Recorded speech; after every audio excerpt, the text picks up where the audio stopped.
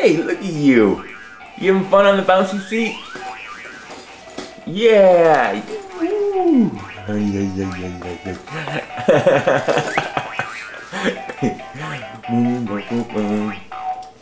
Go ahead, let me see those little leggies bounce. There you go. You finally enjoying the seat? You hated that chair. Hmm? Alright. You finally like it. Finally.